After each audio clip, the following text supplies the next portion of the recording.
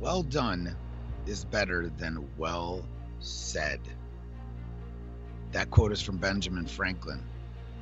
We all know who he is.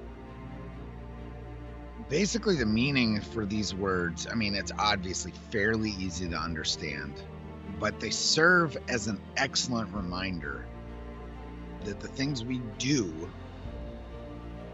are way more powerful than the things that we say. I, I mean, I guess you could phrase it a different way. Actions speak louder than words, right? So take take for example raising children. Do, or what's another phrase we hear in the military all the time? Do as I say, not as I do.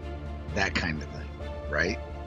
So teaching people to do things is way better than telling them how to do it. It just makes sense, right? This is how we communicate as humans and just remember that what you do is way more powerful than what you say. Go out there, do awesome things, and have a great Monday.